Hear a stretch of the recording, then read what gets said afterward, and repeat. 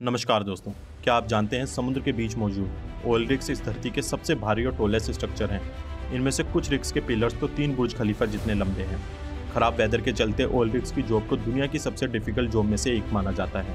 Pacific ocean में मौजूद, ये है दुनिया की सबसे बड़ी बिरकुट ऑयल रिग जिसको रूस कंट्रोल करता है।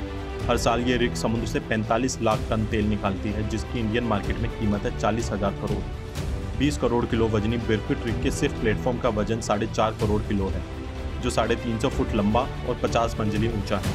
बाकी का वज़न इसके पिलर्स में है, जो प्लेटफॉर्म को अर्थक्वेक और सुनामी जैसी कैलेमिटीज से बचाते हैं। इसके पिलर्स माइनस पचास डिग्री सेल्सियस टेम्परेचर और 60 फुट ऊँची वेव्स को भी बड़े आसानी से झेल सकते हैं। जब कंपनी रिग के थ्रू सारा तेल बाहर निकाल लेती है तो इसके पाइप्स को सील कर दिया जाता है। लेकिन फिर भी ये सील पाइप इक्वेटिक लाइफ के लिए एक बड़ा कंसर्न है।